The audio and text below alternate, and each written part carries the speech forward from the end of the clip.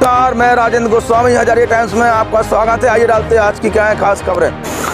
नमस्कार, आदाब, सत आशा करते हैं कि आप घरों पर अच्छी तरह खबरों की शुरुआत सबसे पहले ललितपुर से करते हैं। परामाज तालबेट के समीप बिरदावा गेवरा गुंदेरा में आस्था के उस तालाब का सच बताएँगे कि कहीं ना कहीं आप सर कहीं ना कहीं आस्था को क्या गुमराह तो नहीं किया जा रहा था। आज अगर हम बात करें उप जिलाधिकारी श्री राम यादव, सीओ कुलदीप कुमार दलबल के साथ पूरे समय मौजूद रहे और वहाँ की हकीकत से रूबरू हुए। वहाँ जो पाया, उसका सच बताएँगे, प्रशासन ने जो बताया, उसको भी बताएँगे। और वाकई में, उस कुंड में क्या है, क्या वाकई में वो आस्था के नाम पर लोगों को गुमराह तो नहीं किया जा रहा था? इस बात का भी हम आपको सच बताएँगे। अध्यक्ष अल्लाह जैन द्वारा नगर के माँ Karmabai park company Bagh light शमशान घाट, सुरई शमशान घाट का निरीक्षण किया गया। निरीक्षण के दौरान वहीं अगर हम कंपनी बाग की बात करें, कर्मी कर्माबाई पार्क की बात करें, चौकीदार एवं साफ़ सफ़ाई नहीं मिली, जिस पर अध्यक्ष द्वारा कार्यालय अधीक्षक रमाकांत तिवारी को संबंधित कर्मचारियों का आज का वेतन काटने के निर्देश दिए।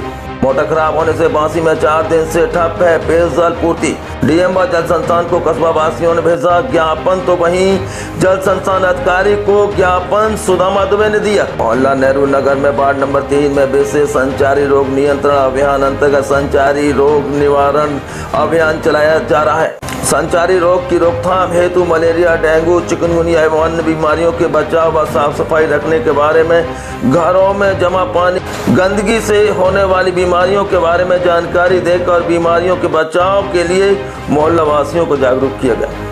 पुलिस अधीक्षक ललितपुर द्वारा जन सुनवाई के दौरान सभी आगंतुकों समस्याओं को सुना गया तथा विधिक कार्रवाई हेतु संबंधित को निर्देशित किया। पुलिस अधीक्षक द्वारा ललितपुर की सड़कों पर किया गया पैदल गश्त तो वहीं लोगों को किया गया जागरूक पुलिस अधीक्षक मोहम्मद मुश्ताक एवं क्षेत्राधिकारी सदर प्रभारी निरीक्षक थाना कोतवाली मैं पुलिस फोर्स के द्वारा थाना कोतवाली क्षेत्र अंतर्गत घंटाघर, सावरकर चौक, मोहल्ला नदीपुरा, ललितेश्वर मंदिर आज़ाद चौक होते हुए कोतवाली तक प्रमुख स्थानों तक किया पैदल गश्त। पैदल गश्त के दौरान दो पहिया वाहनों से हेलमेट लगाने एवं यातायात के नियमों के पालन करने के लिए किया गया जागरूक।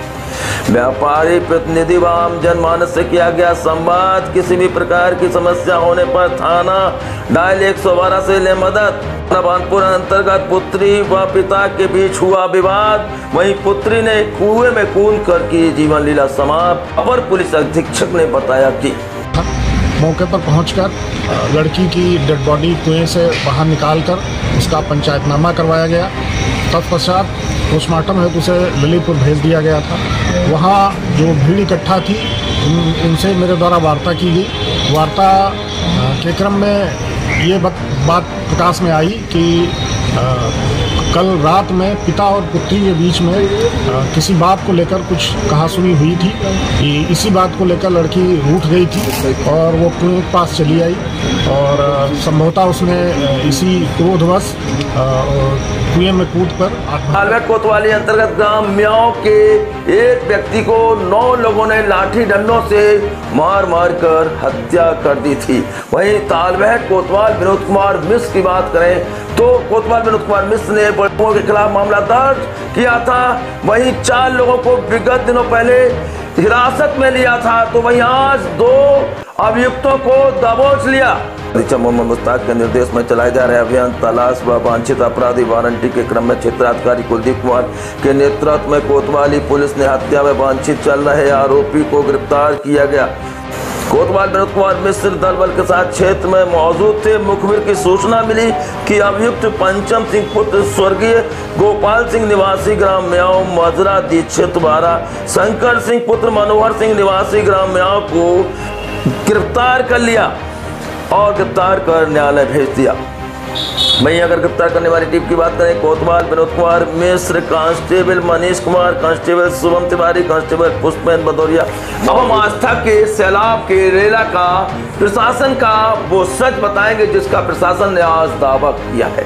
वहीं अगर हम बात करें उप जिलाधिकारी श्री राम यादव, सीओ कुलदीप कुमार, आज गेवरा, गुंदेरा व विरधा के जंगलों में वहाँ मौजूद रहे। जहाँ पर कि सिद्ध बाबा की मौजूदगी की बात कही जा रही थी दिव्य कुंड के मौजूद होने की बात कही जा रही थी, उसमें स्नान करने से लोग ठीक हो रहे थे, दावा किया जा रहा था, पर आज प्रशासन ने उसका धरातली निरीक्षण किया, प्रशासन मौजूद रहे पूरे दिन, और इसकी हकीकत से रूबरू हुए, उन्होंने साफ़ तौर पर कहा, हमारी सीओ कुलदीप कुमार से बात हुई कि उन्होंने साफ़ तौर पर कहा कि जो एक कुंड बताया जा रहा है, यहाँ इतना गंदा पानी है कि लोगों के स्वास्थ्य के लिए हानिकारक है। इसमें न निकासी है, किसी तरह से और एकत्रित होते हुए पानी लोगों की सेहत के लिए अच्छा नहीं है। यहाँ जो लोग अपनी दुकानें चला रहे थे, जो लोगों से पैसा ले रहे थे, या लोगों को गुमराह कर रहे थे, उन लोगों की तलाश कर रही है पुलिस। और ऐसे लोगों को जो फ़र्ज़, जो जो वहाँ पर फर्जी तरीके से दुकानें लगाए थे और लोगों को आस्था के नाम पर भटका रहे थे, उन लोगों पर भी पुलिस ने अपना सिकंजा कसा हुआ है।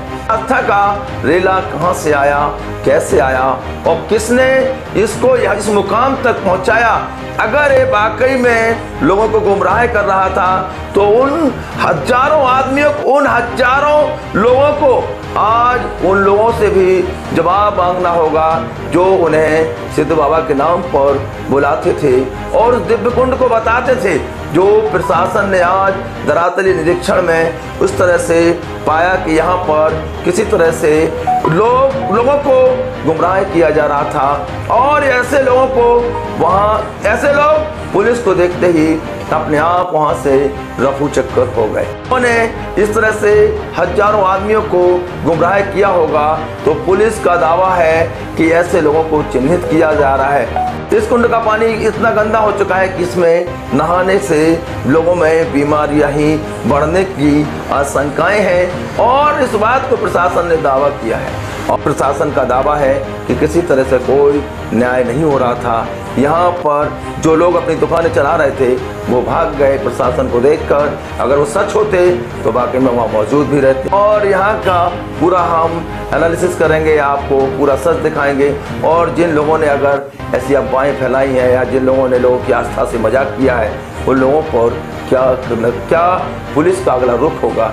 इस पर भी हम आपका पूरा इस पर भी हम पूरा इतिहास की बात करें तो चार अक्टूबर उन्नीस सौ सत्तावन में दुनिया का पहला मानव निर्मित अंतरिक्ष मिशन स्पुतनिक वन को रूस अंतरिक्ष एजेंसी ने प्रक्षेपित किया था।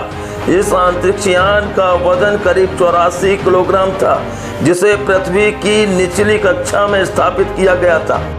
फ़िलहाल यूट्यूब पर जाकर हमारे चैनल को सब्सक्राइब करिएगा। कल फिर मिलते हैं नई खबरों के साथ। अपना बेहतरीन से ख्याल रखिएगा। जय हिंद।